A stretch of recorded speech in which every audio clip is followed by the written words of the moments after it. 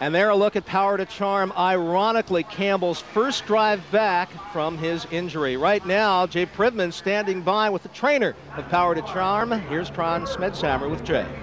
Thank you, Gary. And Trond, when John Campbell was injured, even while he was off, you reached out to him and said, I want you to drive this horse. What was it about this horse that made you think he would be a good fit for him?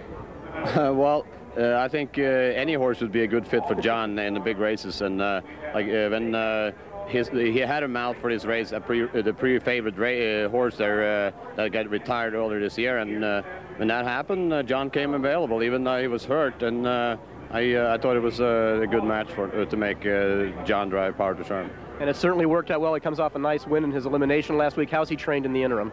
Oh, he was fine all week. He's uh, feeling very good, and uh, I think he's uh, as ready as he can be. Right. Well, best of luck, Trond. Good luck in the next race. So let's go back now to Gary Seibel.